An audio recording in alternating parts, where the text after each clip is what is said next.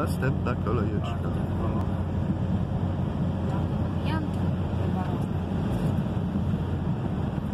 O, matka jedyna co się wyrabia.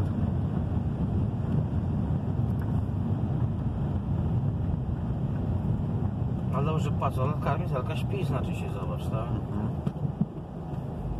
Dobrze, ty płacą ci podatki, bo to Miśku takie kurwa niszczenie dróg, że szok.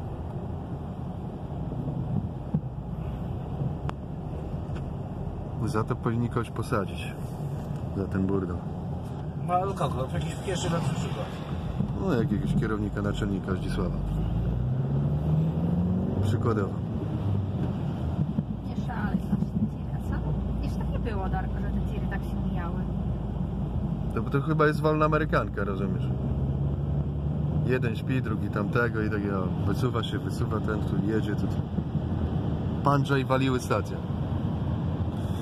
Dopiero. Nie, jak ma złożoną lusterkę Miśku, to znaczy, że...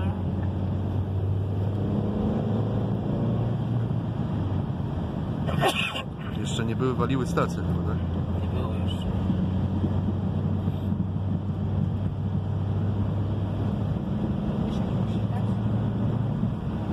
Napić się.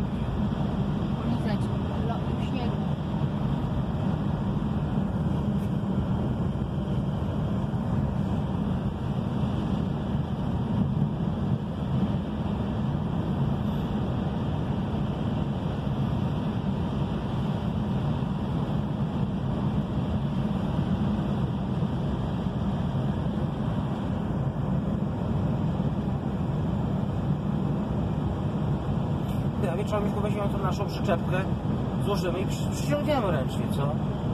Drobiazgi, drzazgi. No, ja już browara, to ja dziadka.